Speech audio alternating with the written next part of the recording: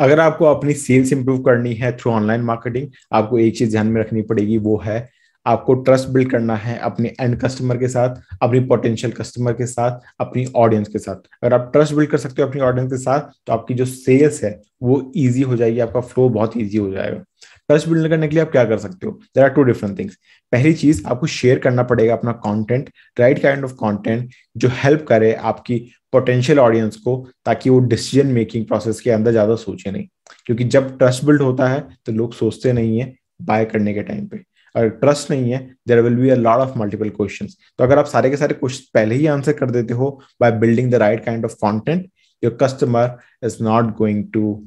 think twice before making a purchase second thing जो आपको करनी चाहिए किसी भी प्लेटफॉर्म के ऊपर वो है get reviews from your current customers आपके जो भी करंट कस्टमर्स हैं चाहे वो आप वीडियो टेस्टिमोनियल लो अगर आप अमेजोन पे कोई प्रोडक्ट सेल कर रहे हो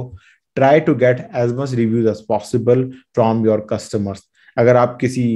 आ, कोई सर्विस सेल कर रहे हो नॉर्मल लोकल एरिया के अंदर तो आप गूगल माई बिज़नेस के ऊपर अपने रिव्यूज़ दे सकते हो। और ये सारे के सारे आप अपने मार्केटिंग चैनल्स के अंदर यूज़ कर सकते हो to build trust. Trust build करोगे तो सेल्स बढ़ेगी।